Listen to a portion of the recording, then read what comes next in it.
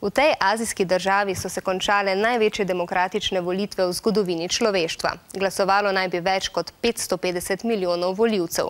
Zelo domiselno se je volivne kampanje lotil Gaurav Sharma, ki je voljivce nagovarjal preoblečen v Spidermana. Ali mu je uspelo, bo izvedel v petek, ko bodo znani rezultati.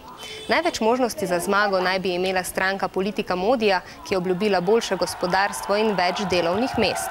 V Indiji so namreč med bogatimi in revnimi zelo velike razlike.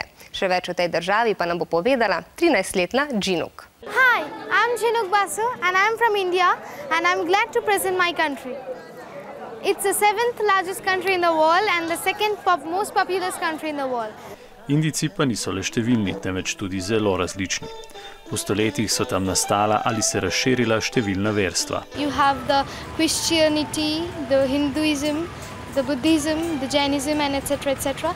Za hindujce, ki so pripadniki največjega verstva v Indiji, je pomembno, da se ob različnih priložnostih okopajo v sveti reki. In India, we have a lot of traditions like the women wear the principal costume as a sari and the women use the bindi on their forehead. A tudi Indija se spopada z vrsto težav. Pestijo predvsem pomankanje osnovnih življenjskih dobrin, naprimer pitne vode in zdravstvene oskrbe. Indija je namreč tudi dežela velikih razlik med bogatimi in revnimi. Revnih je tudi veliko otrok, ki živijo na ulici in se težko prebijajo iz dneva v dan. Tudi ženske v Indiji nimajo enakih pravic kot moški.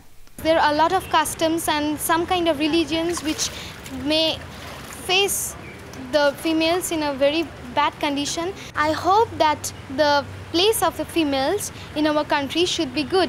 In tako kot je različna Indija sama, so različne tudi želje po spremembah, ki jih prinašajo volitve. Namaskar.